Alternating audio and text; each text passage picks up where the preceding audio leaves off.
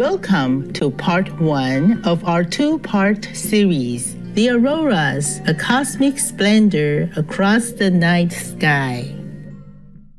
Our precious planet manifests countless spectacular events every day. The auroras or northern and southern lights are such examples and are among the most majestic cosmic splendors ever witnessed.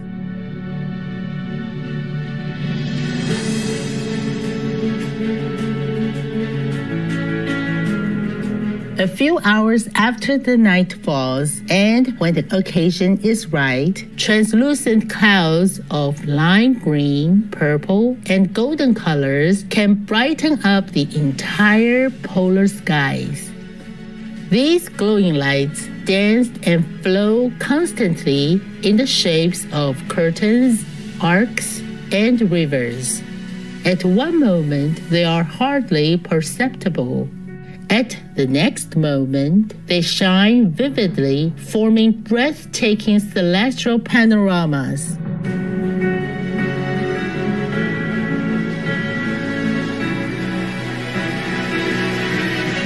American science writer Louis Young compares them to a firelight flickering on the ceilings of the world.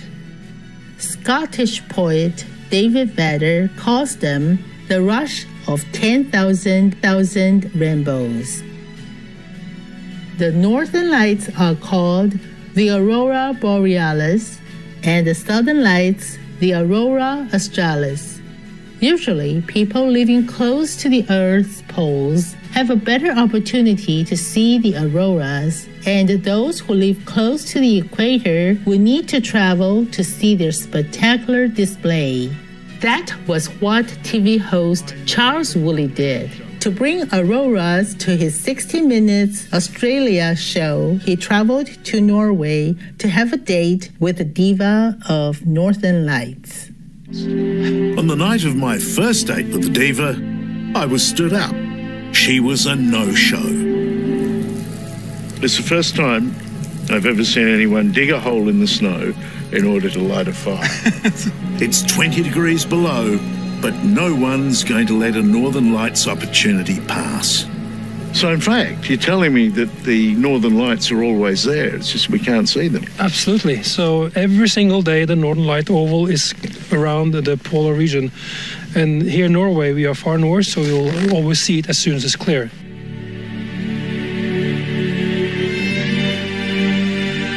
But soon our attention was taken from the fire on the ground to the fire overhead.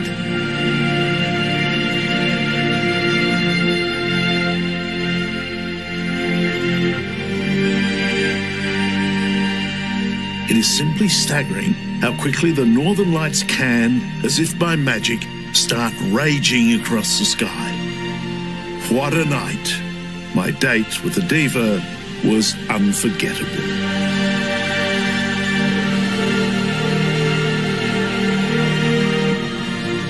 Auroras have been a theme in human history for millennia. The first depiction of the aurora dates to around 30,000 BC in the cave of Rouffignac in France, where a ceiling painting depicts the bright swirling patterns of the aurora. The first textual record of the aurora was written in 2600 BC in China, noting that Fu Pao, the mother of the Yellow Emperor Xuan Yuan, saw intense lightning moving around the northern dipper. It illuminated the whole area. In 1619, Italian astronomer and physicist Galileo Galilei coined the term aurora borealis after the Roman goddess of the dawn. Long before him, the auroras had inspired a diverse collection of myths, legends, and arts. For some, the lights carry particular spiritual relevance even today. Many Swedes thought that the Northern Lights were a gift from the gods, providing light and warmth from a volcano to the north. Some thought they would herald a good harvest in the coming year. The belief held by native communities in Finland that the lights were caused by a celestial firefox, which ran so fast across the snow that its tail kicked up sparks into the night sky to shimmer in the aurora. The Finnish word for the northern lights, revontule, literally means firefox. For some indigenous cultures, the lights mark a special visit they represent our ancestors. Those that have left us, uh, they went home. Uh, so those are spirits. Uh, that's why we say Kanimito, check the spirits are dancing.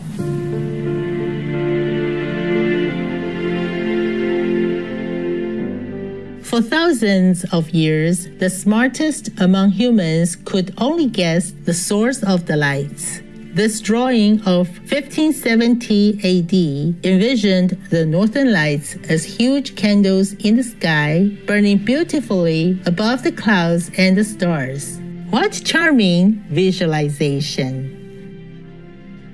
In 1790, English natural philosopher and scientist Henry Cavendish developed a method of making quantifiable observations of the aurora known for accuracy and precision in his research on the composition of the air and density of the Earth, Cavendish used the triangulation technique to determine that the aurora is produced in the upper atmosphere about 100 to 130 kilometers in altitude or 60 miles above Earth's surface.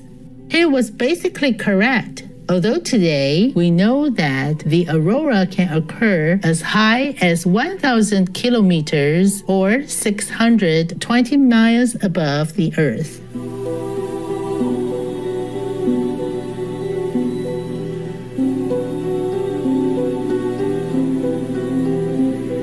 The celestial display of auroras during the past centuries inspired great fascination among scientists and nature explorers. According to modern science, all auroras begin with solar activity. As this NASA video explains, several billion tons of plasma are hurled out from the sun when the solar storm occurs. The solar storm can reach speeds over 8 million kilometers an hour. After 18 hours, the solar storm reaches Earth. When the solar storm reaches our planet, something strange happens. An invisible shield, the Earth's magnetic field, deflects the storm. The magnetic fields couple together and create a funnel where the gas streams down on the daylight side of the pole. This is the daylight aurora. The magnetic fields stretch further back and couple together. The magnetic rubber band breaks, and gas from the solar storm streams along the magnetic lines towards the poles on the night side. This is the nighttime aurora.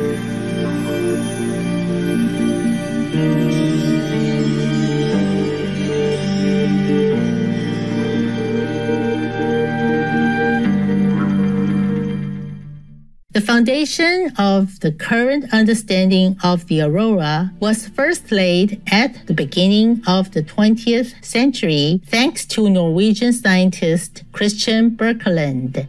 A professor of physics at the University of Oslo, Birkeland led several expeditions to the Arctic Circle.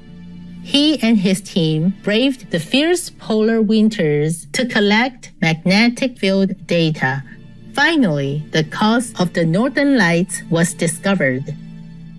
Christian Birkeland, he had a theory that was charged particle from the sun that was sparking the northern lights. Of course, nobody believed him. And he had to make his own experiment to try to prove his own theory. So he made this Terrella experiment, a very famous experiment. It's a vacuum chamber. He pumped up all the air and he put the earth inside there in metal sphere and the magnet inside there again and bombarded it with particles, electrons actually three years before they knew the electrons existed. He managed to create the artificial aurora you can see here. And this is actually his original box that's still in Oslo at the, University, at the Technical Museum. He also saw it was similar lights on the southern hemisphere. it would take another 60 years for the world to acknowledge the importance of Birkeland's work. His incredible discoveries have been forever immortalized on the Norwegian 200 kroner banknote. And you all see in the picture of, Nord- of Christian Birkeland because he's on this bill. And the whole story about the Northern Lights, you can see here the Northern Lights behind his head, the Big Dipper, the pole star in the right position, the ice crystal because we have cl- climate here, and the Terrella experiment. And the other side, you can see a map, and it shows actually uh, the Arctic region. You can see the magnetic pole, and around the magnetic pole, you will see the Northern Light oval, and the Birkeland current to the right.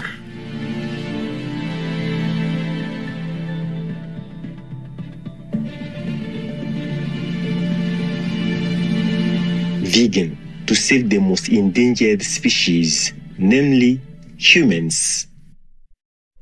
Thank you, noble viewers, for being with us today.